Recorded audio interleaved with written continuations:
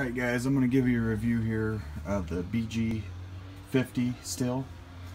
Um, I sold my Echo PB250 and have been running this blower all season and I have to say it is an awesome little blower and really packs a punch. I mean for $139.99 you can't go wrong. Uh, all summer we never grabbed the backpacks. We always grabbed the BG50 because it's lightweight, easy. Like when it's 100 degrees out, you just got a sidewalk to blow.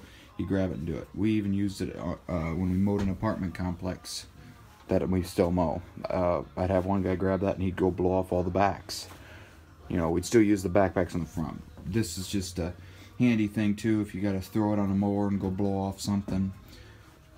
No issues with this at all. Good on, okay on gas. Uh, it does suck it pretty quick, but you know, it's only a small little tank. The only con, well, two cons actually I have, is it doesn't have the retracting switch, and it takes probably 10 or 11 pulls to get it started when it's cold. You got to prime it a bunch of times for it to start. But after it's warm, one or two pulls fires right up. But it always gets you is it doesn't have the retracting switch which I wish it had. I think the bigger models have that, but I wasn't spending $300 on a handheld blower when I've got big blowers. I just wanted something lightweight and easy just to throw in and out of the truck bed if we have to, or just other jobs in general, or just blowing out the trailer, or just little things aside from just blowing off sidewalks. But, uh, awesome little blower. Uh, I think, like I said, it retails for over around $139.99 and when I bought it I bought the uh, six pack of uh, Stihl oil with it. So I got the extended warranty because when I was buying it they didn't know I was commercial.